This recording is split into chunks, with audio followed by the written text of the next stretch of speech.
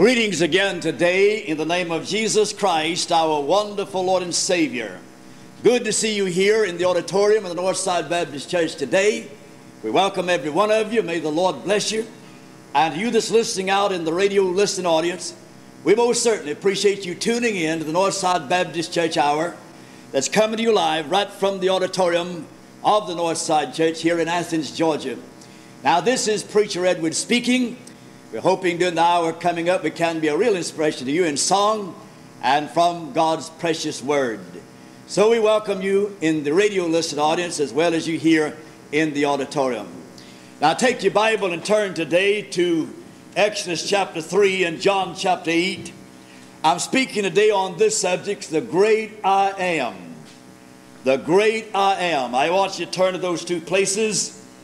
While you're turning there, I want to say to you in the radio listening audience, you write in and get a list of our cassette tape. We most certainly glad to send you a list. Now, these tape that we're sending out are $3 each, and the gift is used to help purchase tape and mailing expense and so forth to get out the gospel, and maybe you want to have a part in it. A lot of people don't know anything about God or where God is, what God is doing. You need to find out some things about the scriptures reminded of the teacher asking the children in Sunday school class one day, said, Could you tell us where God is? One said, Yes, He's in heaven. Another said, Yes, He's everywhere. Another said, uh, He's in the bathroom at our house. Teacher said, What do you mean in the bathroom? She said, Well, every time Mama goes to the bathroom, she said, My God, are you still in there?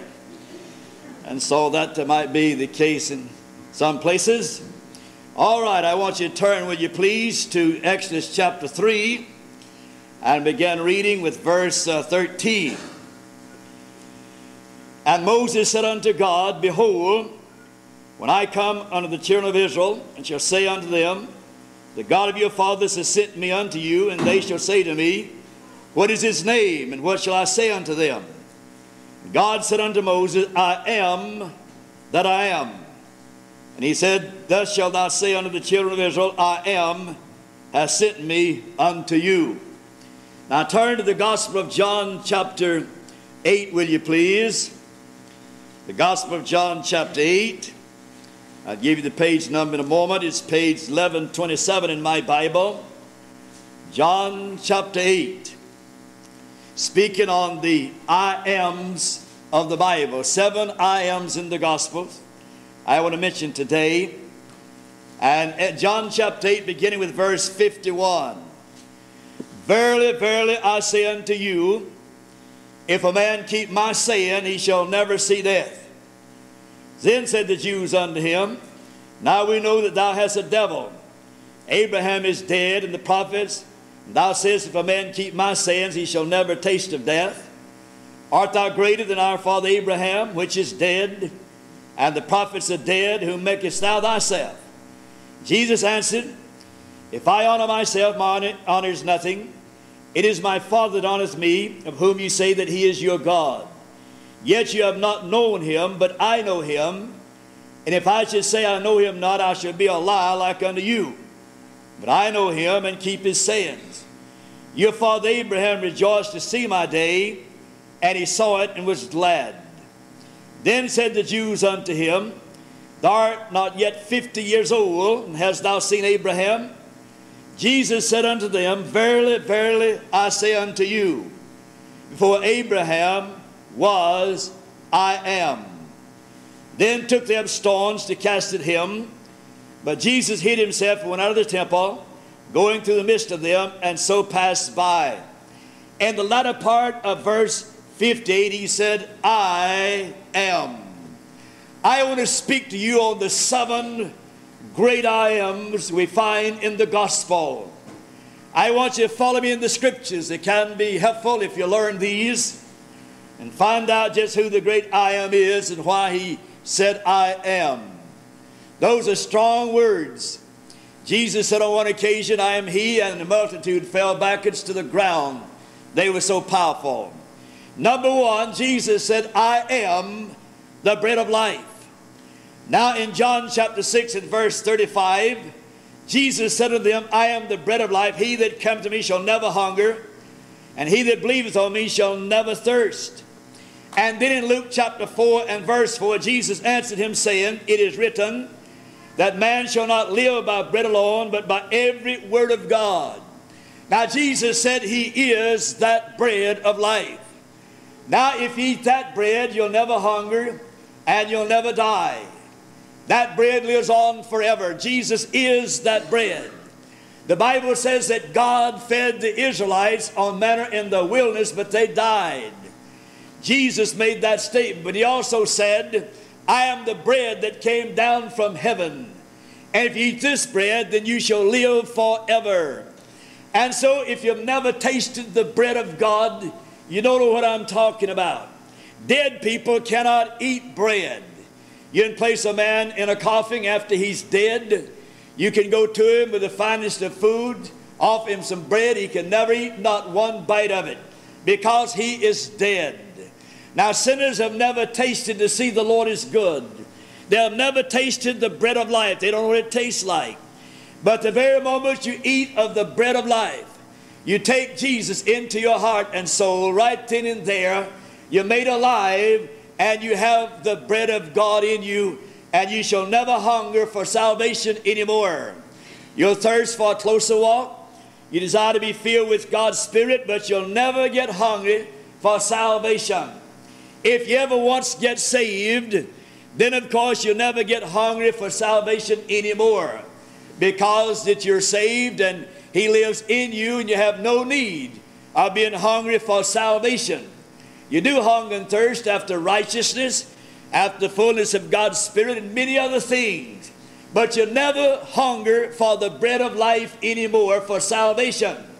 But God's Word is bread, it is food, and you feed upon it and you grow by grace and knowledge as you feed upon the infallible Word of God. Now, if you didn't feed on the Word of God, you'd never grow. That is your food. You must do that. That's why you must study the Word. That's why you need to meditate in the Scriptures. That's why you need to assimilate God's Word into your heart and soul that you may grow strong thereby as you serve God. Jesus is that bread of life. And if you don't have Him, you've never tasted the light. Not only is he the bread, but he's the light. As long as I'm in the world, I am the light of the world. Jesus is the light to the blind.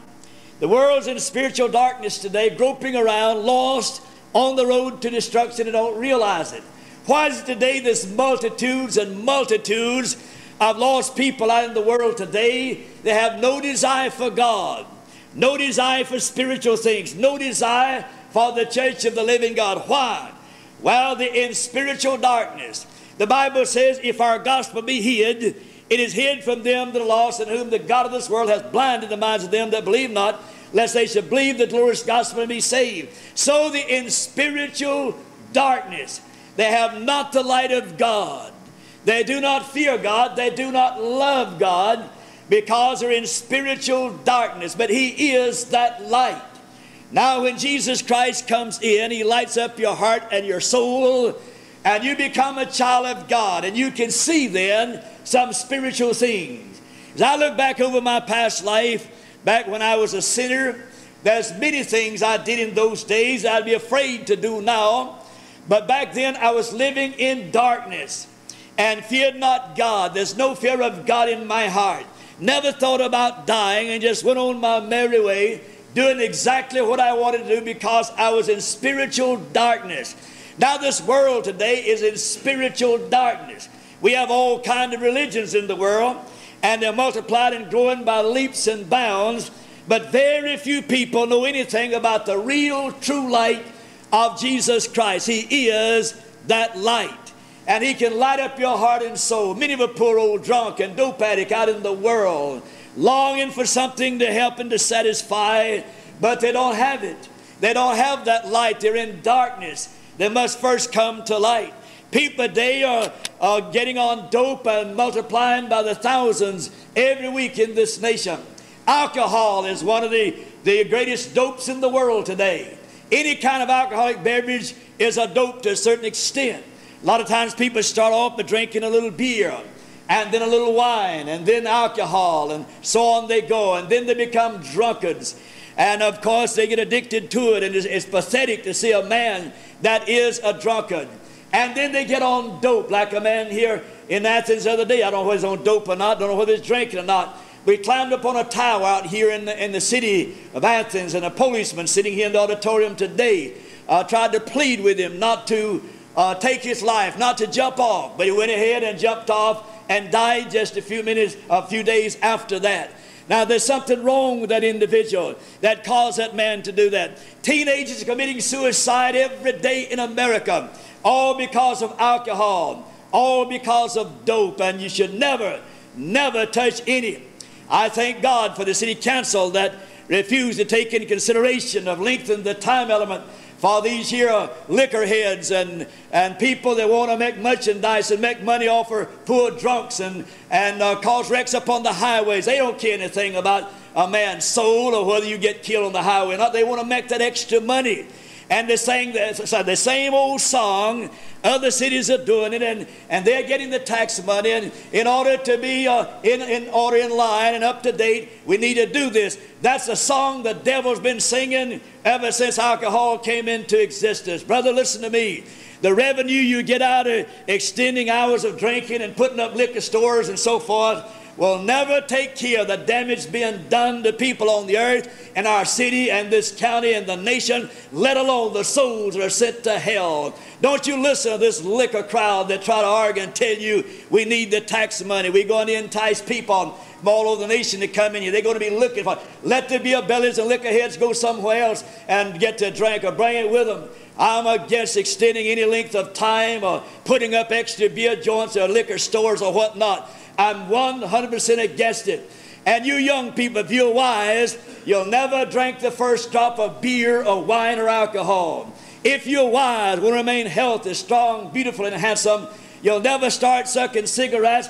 You'll never start smoking grass or pot. You'll never get on dope. You'll lay off alcohol. You'll live clean that you might be young and pure and beautiful and lovely and handsome. Many of a young, beautiful, darling girl has ruined her health and ruined her beauty because of those things I mentioned. Many of a young boy has become a drunkard and and uh, ruined and wrecked his health and aged himself and went to a premature day because of it. Young people, I challenge you. We have some beautiful and lovely young people here in this church. I challenge you to never smoke a cigarette, never try pot, never try grass, never drank beer, never drank wine, never drank whiskey, have nothing to do with any kind of dope. I challenge you. This is for your good. Be a real person, a real young lady, a real young man, and say, These things are not going to dominate me. And take a stand like a young girl a young boy, and later a real woman and a real man. And you'd be glad that you did. The reason people today are drinking and ripping up and down the highways, and 25,000 people killed by drunks on the highway every year is because they're in spiritual darkness. And they're going on in spiritual darkness and they're headed toward hell like a bat out of hell and they don't realize where they're going. Beloved, listen to me. It's a terrible thing to live in spiritual darkness. Why don't you try the light? Then, number three, Jesus said, I am the door. John chapter 10 and verse 9 I am the door. By me, if any man enter in, he shall be saved and shall go in and out and find pasture. Now, Jesus is that door. There's not a half a dozen different ways to heaven. Some people said, well, well, everybody has a religion and we all head to the same place. No, we're not. No, we're not. You may have religion, but you're not headed toward heaven unless you come through the door. And Jesus said, I am the door. Cults are filling the land. Just the other day, I came out of the post office and I saw two sheepy looking young women walking down the street, and I spotted them. I knew right off they were Russellites. And they recognized me. They knew I opposed what they do. They knew my stand. And they kind of grinned, kind of turned their head. And then when I passed by, they stopped a man on the street and started giving him their poison literature. Now, these cults, these cults are growing by leaps and bounds in this nation. But that's not the way to heaven. You can join every religious movement in the world. That's not the way to heaven. Jesus said, I am the door, and everybody that goes to heaven will have to go through that one door. the rich, the poor, the learned, the unlearned. Everybody must go through that door. He won't go to heaven. The Bible says, He that hath the Son hath life, and he that hath not the Son hath not life, but the wrath of God abideth on him. John chapter 10 and verse 9 I am the door. By me, if any man enter in, he shall be saved, and shall go in and out and find pasture. Now, Jesus did not say here, I am a door. Now, you know what a door is. A door is an entrance in the building. Now, you see some doors here at this building. You, you, you see the, the entrance where you come in or go out. Now, that thing has got a knob on it there. That's not the door. We call that the door, but that's what closes the door. That closes up the entrance. Now, the door is the entrance. That's where you get into the building. You don't get in through that thing we call the door that has a golden knob on it there, a brass knob. That closes the place so you can't get in. But when that is open, when you push that back, then you can come in the door. And that's the only way to heaven. Jesus said, I am the door. And you'll have to go through him if you ever get to heaven. There's no other way. He didn't say, I am a door. He said, I am the door, the only way. No other name given under heaven whereby you must be saved. So religion won't do it. Good deeds won't do it. Human efforts won't do it. You must come through that door. Church membership won't do it. You join the church, and that still won't get you through the door. You got to come through Christ to get on the inside. And He is that door, and every person on the earth that goes to heaven will have to come through that door, and He won't get there. Big shots, little shots, and all. Nobody goes to heaven except they come through that door. The devil is deceiving people today and making them think there's more than one way to heaven.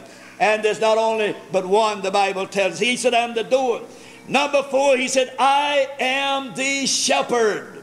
John chapter 10, verse 11. I am the good shepherd. The good shepherd gives his life for the sheep. So Jesus is that shepherd. He was a good shepherd in death. He's the great shepherd in, at God's right hand now, according to Hebrews 13 20. And he'll be the chief shepherd when he comes back again, according to 1 Peter chapter 5 and verse 4. Now, Jesus is that shepherd. He's your shepherd. You're the sheep of his pasture. And he was the good shepherd in that he died for the sheep. The Son of God died on Calvary's cross, was buried and rose again, that we might be saved. He died for you. The good shepherd died for the sheep. Now, at the right hand of God the Father as our advocate or intercessor, he's the great shepherd, he's the great high priest. Now standing at God's right hand, ever ready to make intercessions for you or for me. And then the Bible says in 1 Peter chapter 5 and verse 4 that he's coming back as a chief shepherd. Not only was he the good shepherd, uh, not only was he the, uh, the great, great shepherd now, but he is the great shepherd now, but he will be the chief shepherd when he comes back again, the Bible tells us. And I'm glad that we're the sheep of his pasture and we are to follow him according to the Bible. He said, My sheep know my voice, and they follow me. Number five, we have where he said, I am the way. In John chapter 14, verse 6, Jesus said unto him, I am the way, the truth, and the life. No man comes to the Father but by me. Now, Jesus said, I am the way, not one of the ways. Man one time went into a town to run a revival meeting and uh, he was trying to find the, the, the, post office. And he met a little boy on the street, and he said, uh, Young man, he said, I'm a, an evangelist. I come in here to run a meeting. I'm trying to find the post office. And could you tell me the way to the post office? And he said, Yes, said, I could tell you the way. And he told him how to get there. And then the evangelist said, Young man, I'm in a meeting down here, and I'd like for you to come. I want to tell you the way to heaven. He said, Well, if you don't know the way to the post office, I doubt you know the way to heaven, so I won't be bothered. Now, beloved, Jesus is the only way. He said so in the Bible. He said he's the narrow and the broad way. And the Bible said there's a way that seemeth right unto man. Proverbs chapter 16 and verse 25. Now, you can go out here and, and talk to the average person and talk to them a few minutes. They'll give you their idea, their theory as to what they think about God or the Bible or how to be saved, and you'd be surprised at the various ways people will tell you how that they ought to worship and how they uh, can be saved and things of that type. All of them completely contrary to the teachings of the Word of God.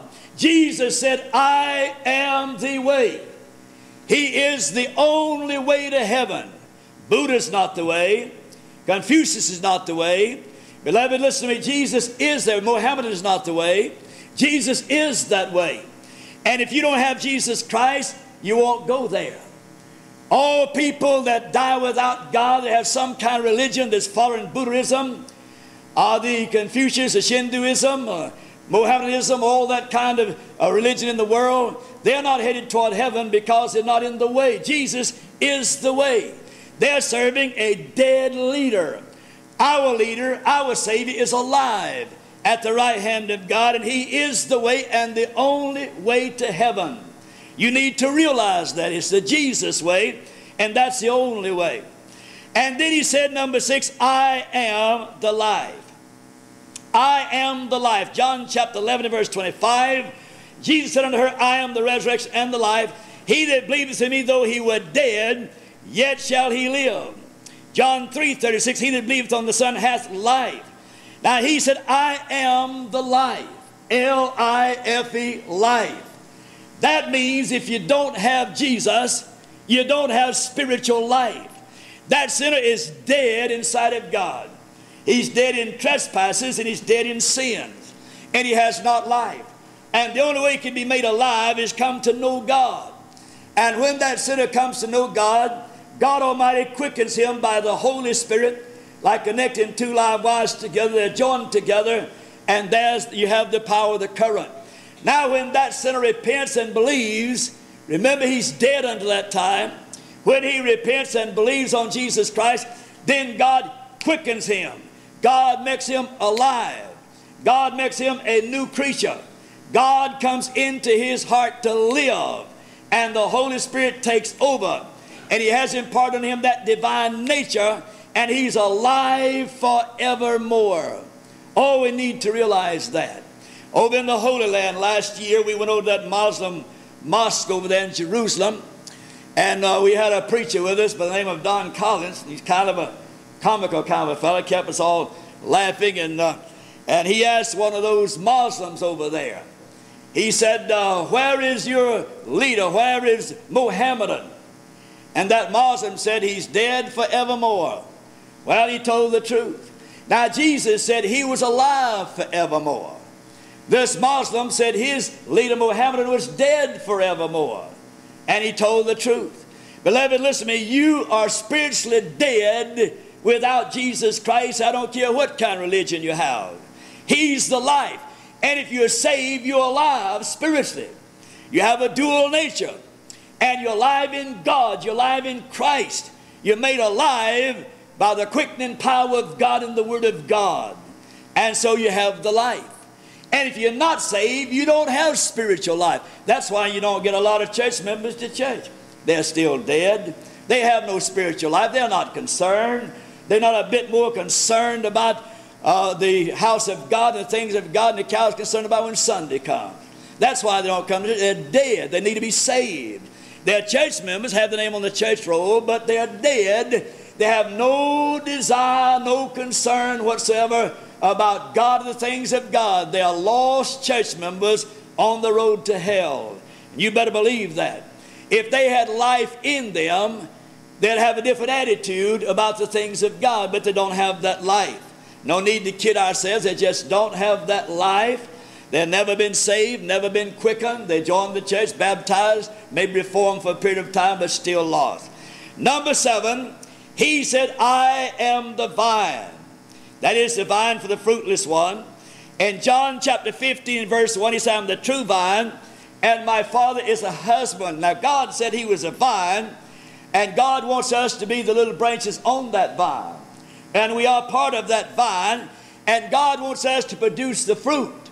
Now, whenever sap rises in that vine and begins to bud and bloom, it'll produce fruit in due time.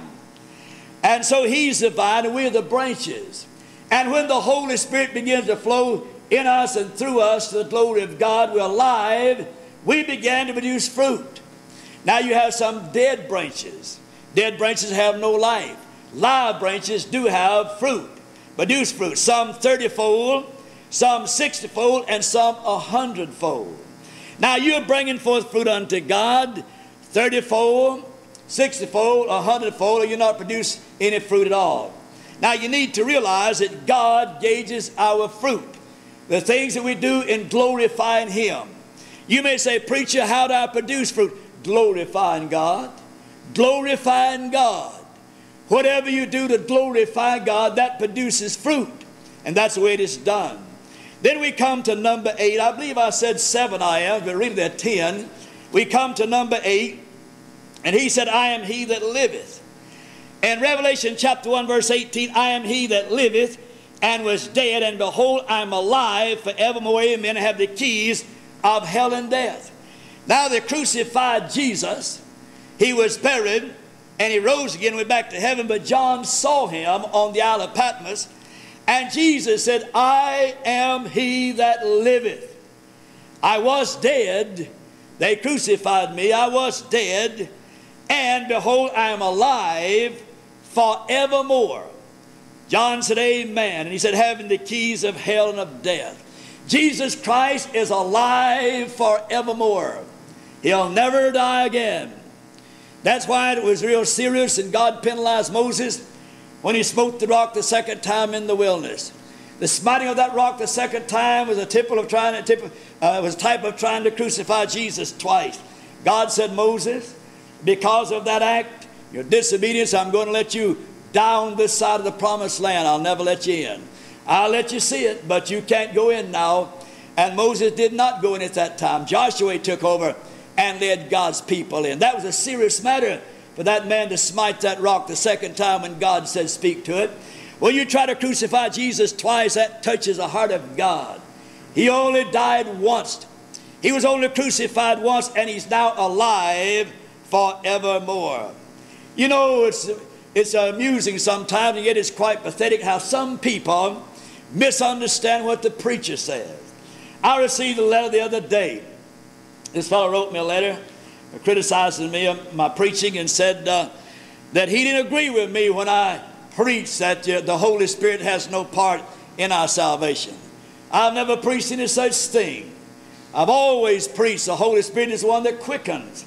He's the one that regenerates. I don't know where the man's ears was when I was preaching, but he certainly didn't hear me say the Holy Spirit had no part in our salvation. He does have a part in it. And people listen to you and take what you say and twist it up. And then uh, when you hear it again, you don't hardly recognize it yourself. People need to hear what the preacher says and take the book and see if he's following the book. And if he's following the book, all right, well and good. I am he that liveth. Then he said, I am Alpha and Omega. Revelation chapter 1 and verse 8, I am Alpha and Omega. Alpha there is the first letter in the Greek alphabet. Omega is the last letter in the Greek alphabet, like from A to Z. He said, I'm Alpha and Omega, the beginning and the ending, saith the Lord, which is, which was, and which is to come, the Almighty. Jesus said, I'm all of it. I'm every bit of it from beginning to the end. I'm from the A to Z. Now he said, I am. Now the word I am is a great Jehovistic name of God. I am is a great Jehovistic name of God. Very important, very sacred, very holy. In fact, the Jews did not speak the word I am out loud too many times. It was too sacred and too holy. They're afraid to even speak it because that's God's great Jehovah name, in a sense. When Jesus spoke, whenever they came to arrest him at the garden, he said, I'm he. And when he said that, that whole crowd fell backwards and hit the ground. There's such power in what Jesus said when he said, I am. That word I am, those words I am, very precious in the sight of God. It contains each tense of the verb to be. Now get that. I am contains each tense of the verb to be and might be translated I was, I am, and I shall always continue to be. That's what it's meant. Jesus Christ is everything. You know him today. If you don't know him, you ought to get acquainted with him. He is the great I am, and he'll live in you and be with you, and he's the one with whom you have to do. He's the one you're going to face someday. Now I hope you know him. If you don't know him, you need to get acquainted. Let's all stand to our feet. Dear Heavenly Father, as we come to you today, we come praying that the Spirit of God might use the Word. We thank you, dear God, for the great I ams found in the Bible. Jesus is our door. He, he says, I am the door and the way, the truth, and life.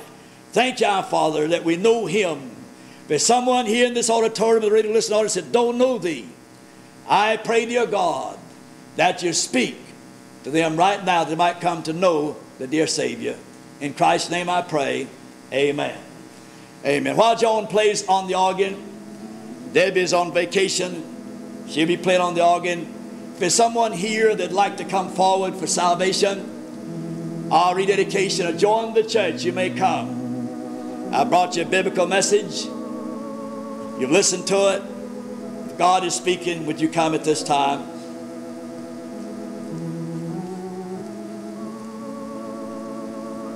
I'm going to give you ample time to respond. Would you come if God is speaking to your heart?